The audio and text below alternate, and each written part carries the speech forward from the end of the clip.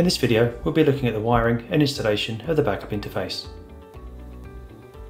The backup interface allows for full or partial home backup.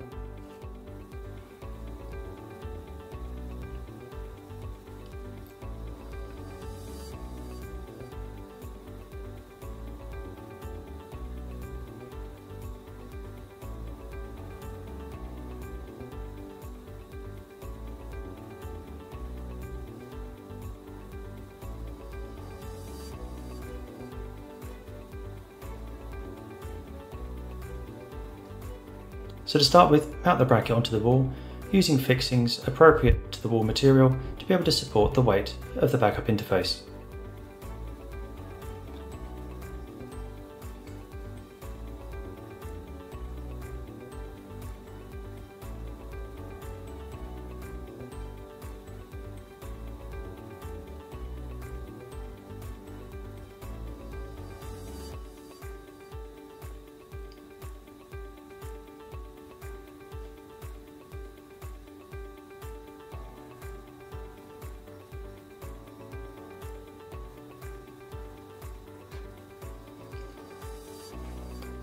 To access all the connections, you need to remove the cover.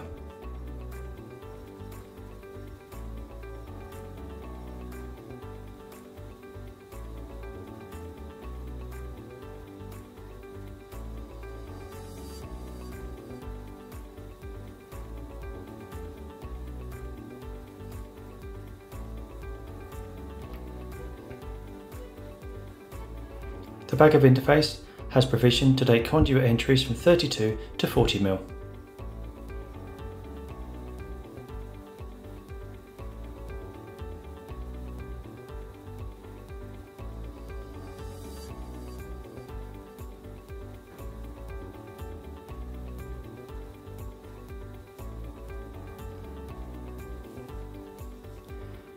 So for the AC connections from the grid, you can use between 6 to 16 mm CSA cable to the loads between 4 to 10, or if a generator is being connected, between 4mm and 16mm.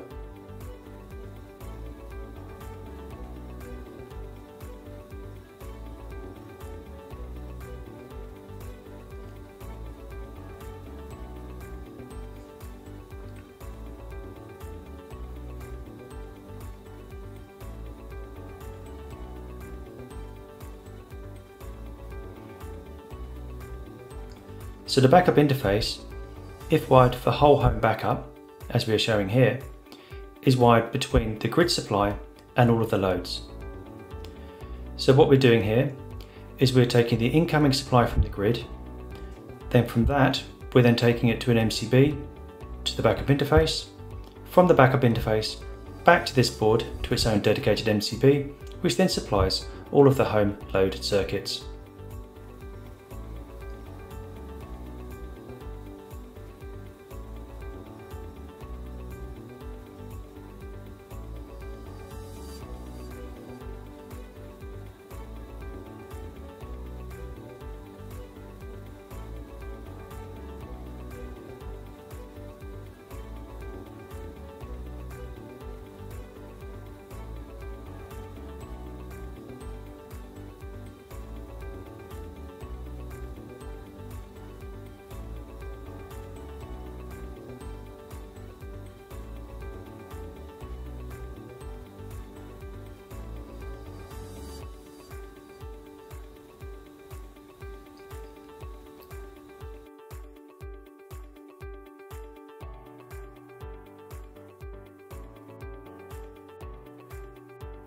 So the backup interface requires a comms connection between itself and the Energy Hub inverter.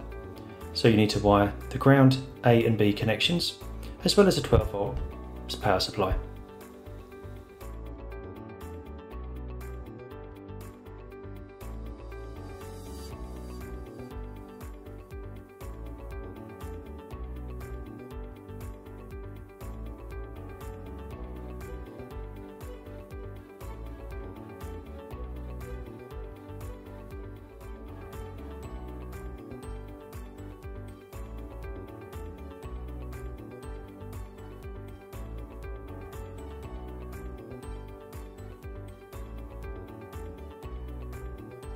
The backup interface also has inside it a CT. So the CT connection can also be connected back to the Energy Hub inbuilt Modbus meter.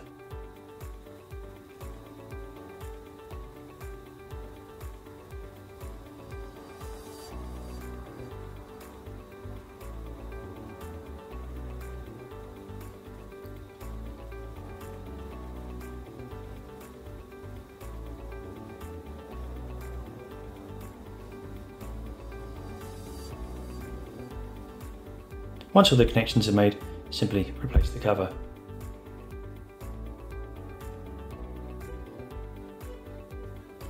Tightening all the screws to 3 newton meters.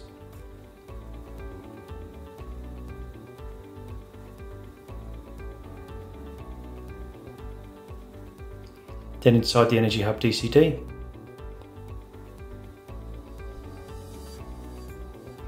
you need to wire the communications cable to the backup interface terminals, ground A and B, as well as the 12 volt power supply.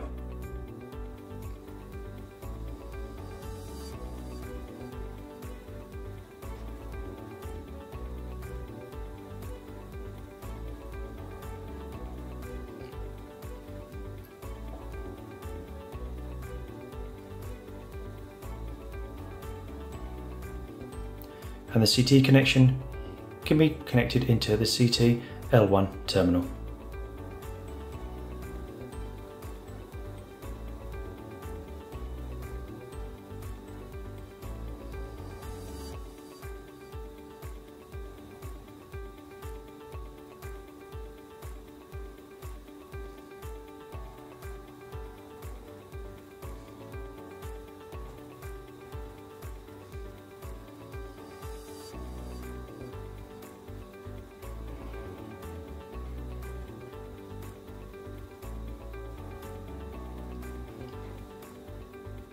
And finally fit the small 9 volt battery into the supplied terminal in the DCD.